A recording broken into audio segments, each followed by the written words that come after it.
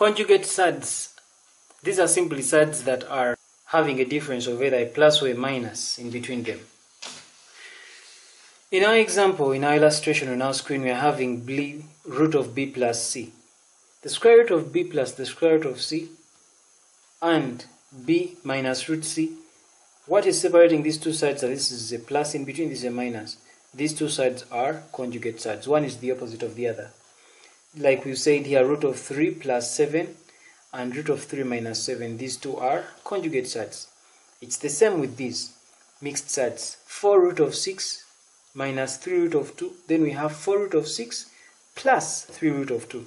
These two are conjugate sets. They are the same figures. The only difference is that one is a plus, the other is a minus. One is a plus, the other is a minus. Now, what happens when we multiply these two conjugate sides? When we multiply these two conjugate sides, we get what we call a rational number. Now, a rational number, remember we said, that is a number that can be expressed in form of a fraction. So this is where the term rationalizing comes from. So when we are rationalizing a surd, we actually multiply it with its conjugate. When we multiply it with its conjugate, then the, that process of doing so is what we call rationalizing. So right here we are having two sides. We are having this original side which is root of 2 plus 3. That is its surd, the surd. And we are being required to rationalize this side. So now in rationalizing its side, we are supposed to multiply it with its conjugate. And its conjugate is going to be root of 2 minus 3. So it's minus. That's the only difference. So it means we're going to multiply this bracket by that bracket. So it is going to be root of 2 times this, which is root times that. Then we have plus 3, plus root of 3, which is that root of 3 multiplied by that whole second bracket, which is this. Definitely here we shall keep opening brackets, root of 2 times root of 2, which is this. Then plus root of 2 times negative 3, which is that. Then we have plus root of 3 times root of 2, which is that.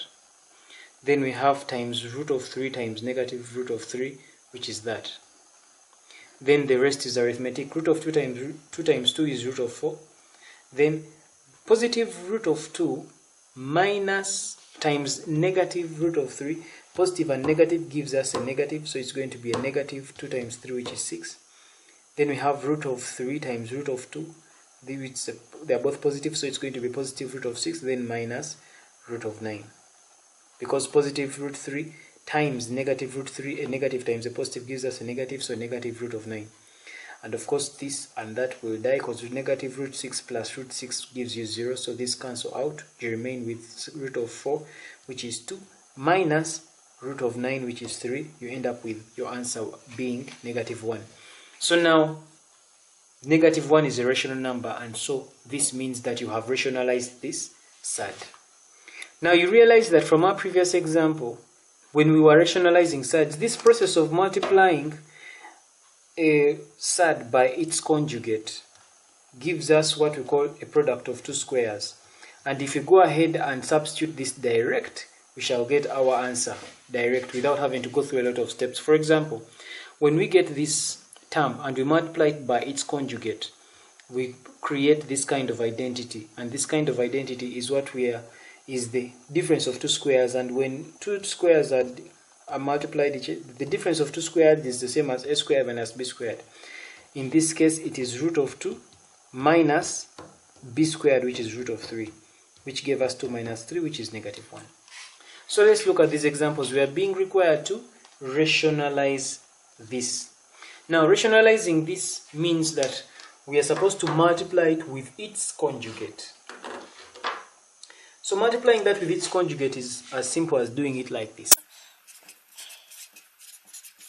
So this is then what we are supposed to. So we multiply this with its conjugate, which is going to be 7 root of 6 plus 9 root of 3. So when you open this bracket, it's going to be 7 root of 6 into multiplied by that which is 7 root of 6 plus 9 root of 3 then minus 9 root of 3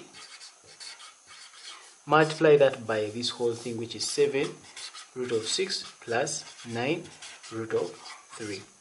So we go ahead and open brackets.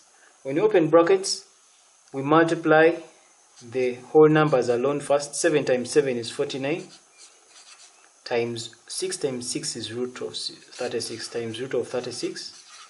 Then we have this times that. So we have 7 times 9. 7 times 9 is going to be 63, so it's going to be plus 63. Then we have 6 times 3, which is 18 times root of 18. Then right here we have 9 times 7, negative 9 times 7, 9 times 7, 9 times 7 we're having 63, so it's minus 63. 3 times 6 is 18 times root of 18. Then we have negative 9 times this. So negative 9 root 3 times that is going to be negative 9 times that is going to give us minus 81 and into the square root of 3 times 3 which is 9 and definitely there if you realize this and that are going to cancel because positive 6 63 root of 18 minus 63 root of 18 is 0 so this will cancel with that. You remain with 49 times root of 36 which is 6 then here minus 81 times root of 9 which is 3 49 times 6 our answer here is 51 so let's do this. Now in this number I'm going to use I'm going to rationalize this number but I'm going to use difference of two squares instead. So rationalizing this number we can either we can multiply it we first of all multiply it using its conjugate. So it's going to be 3 plus 2 times root of 3 multiply it by its conjugate. Its conjugate is going to be 3 minus 2 root 3 now, using the difference of two squares, which is this,